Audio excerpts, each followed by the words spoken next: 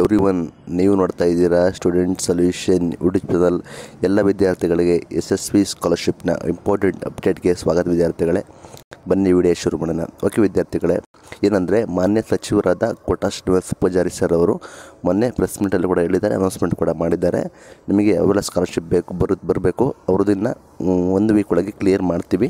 ಮತ್ತು management management ವಿದ್ಯಾರ್ಥಿಗಳಿಗೂ ಕೂಡ ಸ್ಕಾಲರ್ಶಿಪ್ನ ನಾವು ಸ್ಯಾಂಕ್ಷನ್ ಮಾಡ್ತೀವಿ, ಕೊಡ್ತೀವಿ ಅಂತ ಹೇಳಿದ್ದಾರೆ. ಆದರೆ ಇಂಪಾರ್ಟೆಂಟ್ ಏನಂದರೆ ಇಲ್ಲಿ ಸಾಕಷ್ಟು ವಿದ್ಯಾರ್ಥಿಗಳಿಗೆ ಒಂದು ಡೌಟ್ ಅಂತೂ ಇದ್ದೇ ಇದೆ ಏನಂದರೆ ನಿಮ್ಮದು ಇನ್ನೂ ಆಧಾರ್ ಶೇಡಿಂಗ್ ಆಗಿರಲ್ಲ ಅಥವಾ ತಾಲೂಕ್, ತಾಲೂಕು ಆಫೀಸರ್ ವೆರಿಫಿಕೇಷನ್ ಆಗಿರಲ್ಲ, ಅವರಿಗೆ ಅರ್ಜೆಂಟ್ ನೋಟಿಫಿಕೇಷನ್ ಏನಂದರೆ ನೀವು ಬೇಗ ಇದನ್ನು ಸಾಲ್ವ್ ಮಾಡ್ಕೋಬೇಕಾಗುತ್ತೆ ಇಲ್ಲಾಂದರೆ ನಿಮಗೆ ಒಂದು ರೂಪಾಯಿ ಸ್ಕಾಲರ್ಶಿಪ್ ಬರಲ್ಲ. ಯಾವೆಲ್ಲ ವಿದ್ಯಾರ್ಥಿಗಳಿಗೆ ಅಂದರೆ ಮ್ಯಾನೇಜ್ಮೆಂಟ್ ವಿದ್ಯಾರ್ಥಿಗಳಿಗೆ ಇನ್ನೂ ಕೂಡ ಆಗಿರಲ್ಲ. ಯಾಕಂದರೆ ಸರ್ಕಾರದಿಂದ ತಡೆ ಹಿಡಿದಿದ್ರು.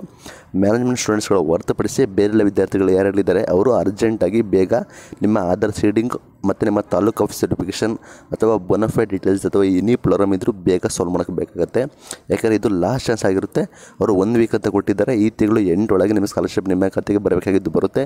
ಇನ್ ಕೇಸ್ ನೀವು ಇನ್ನೂ ಕೂಡ ಡಿಲೇ ಮಾಡಿದ್ರೆ ನಿಮಗೆ ಒಂದು ಸ್ಕಾಲರ್ಶಿಪ್ ಬರಲ್ಲ. ಇನ್ನೂ ಕೂಡ ಮುಂದಿನ ತಿಂಗಳಿಗೆ ಬರುತ್ತೆ. ಮುಂದಿನ ತಿಂಗಳಿಗೆ ಬಂದರೆ ಚಾನ್ಸಸ್ ಕಡಿಮೆ ನಿಮಗೆ ಸ್ಕಾಲರ್ಶಿಪ್ ಬರೋದು ಕಡಿಮೆ.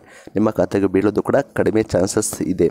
ಸೊ ಅದಕ್ಕೆ ಎಲ್ಲ ವಿದ್ಯಾರ್ಥಿಗಳು ಏನು ಮಾಡಿ ಅಂದರೆ ಬೇಗ ಅರ್ಜೆಂಟ್ ನೋಟಿಫಿಕೇಷನ್ನು ಬೇಗ ಈ ರೀಸನ್ನ ಸಾಲ್ವ್ ಮಾಡಿ, ಸಾಕಷ್ಟು ಈ ವಿಡಿಯೋ ಸಾಕಷ್ಟು ವಿದ್ಯಾರ್ಥಿಗಳು ನಿಮ್ಮ ಫ್ರೆಂಡ್ಸಿಗೆ ಫಾರ್ವರ್ಡ್ ಮಾಡಿ, ಅವರಿಗೆ ಗೊತ್ತಾಗಲಿ ಇದು ಅರ್ಜೆಂಟ್ ಅಂತ.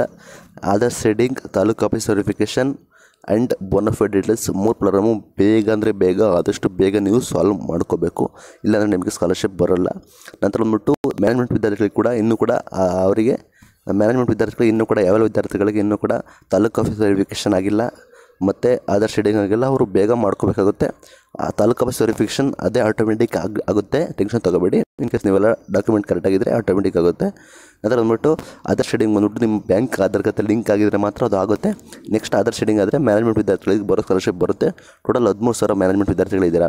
ಬಟ್ ಮ್ಯಾನೇಜ್ಮೆಂಟ್ ಸ್ಟೂಡೆಂಟ್ ಹೊರ ಹೊರತುಪಡಿಸಿ S C, S T O B C ವಿದ್ಯಾರ್ಥಿಗಳು ಬೇಗ ಆಧಾರ್ ಶೆಡಿಗೂ, ತಾಲೂಕು ಆಫೀಸ್ ಸರ್ಟಿಫಿಕೇಷನ್ನು ಎ ಡೀಟೇಲ್ಸ್ ಪ್ರಾಬ್ಲಮ್ನ ಬೇಗ ಸಾಲ್ವ್ ಮಾಡ್ಕೊಳ್ಳಿ. ಇನ್ ಕೇಸ್ ಏನೇ ಡೌಟ್ ಇದ್ದರೆ ಕಾಲೇಜ್ ಕಾಂಟ್ಯಾಕ್ಟ್ ಮಾಡಿ ಅಥವಾ ನಿಮ್ಮ ಆಫೀಸಿಗೆ ಕಾಂಟ್ಯಾಕ್ಟ್ ಮಾಡಿ ಅಥವಾ ನನ್ನನ್ನು ಕಾಂಟ್ಯಾಕ್ಟ್ ಮಾಡಿ. ನಾನು ಎಷ್ಟಾಗುತ್ತೆ ಅಷ್ಟು ಮಾಹಿತಿಯನ್ನು ನಿಮಗೆ ತಿಳಿಸಿಕೊಡ್ತೀನಿ. ಇದು ಇವತ್ತಿನ ಇಂಪಾರ್ಟೆಂಟ್ ವಿಡಿಯೋ ವಿಡಿಯೋ ಇಷ್ಟ ಆದರೆ ಲೈಕ್ ಮಾಡಿ ಶೇರ್ ಮಾಡಿ ಸಬ್ಸ್ಕ್ರೈಬ್ ಆಗಿ ಈ ಥರ ಹೆಚ್ಚೆಚ್ಚಿನ ವಿಡಿಯೋಗೆ ನಮ್ಮ ಚಾನಲ್ ಸಬ್ಸ್ಕ್ರೈಬ್ ಆಗಿ ಸಪೋರ್ಟ್ ಮಾಡಿ. ಸಿಗೋಣ ಮುಂದಿನ ವಿಡಿಯೋದಲ್ಲಿ.